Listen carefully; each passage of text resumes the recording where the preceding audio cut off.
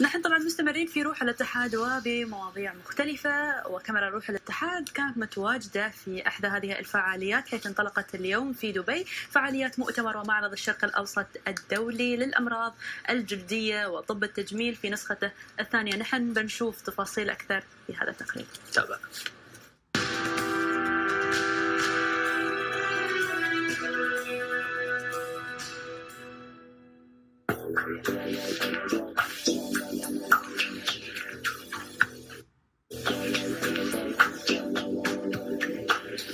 مجال الأمراض الجلدية هو من المجالات الطبية التي يعني يزداد بها الاهتمام على مستوى العالم.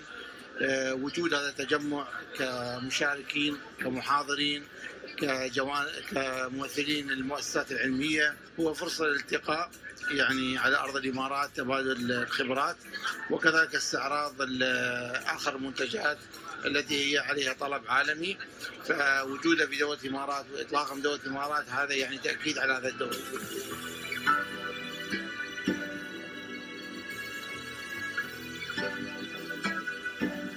هذه اللقاءات تعزز يعني من الخبرات بين الأطباء تطور آه، مجالات وأفق الأشياء الطبية المتخصصة آه، والحمد لله هذا يعزز كذلك السياحة العلاجية التي تهدف إلها آه، دبي وحكومة الإمارات فما شاء الله هذا الاستقطاب الكبير للخبرات الموجودة حاليا في أرض المعرض له مردود إيجابي وجدا في خدمة المرضى والمتعاملين.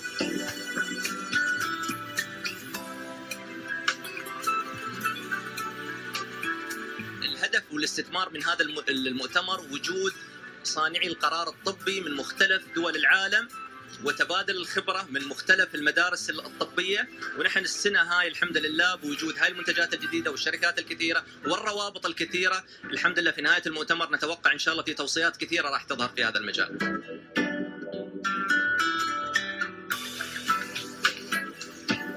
المؤتمر ده بالنسبة لي بيمثل إضافة جديدة للنجاح العلمي في هذه الدولة لأن حينما تجد هذا كم من البشر والعلماء من كل أنحاء العالم هتبقى دافع لكثير من الشباب إنه يستمر على نفس المنهاج بل يحاول أن يتفوق وهذه في النهاية قيمة تضاف لأي دولة.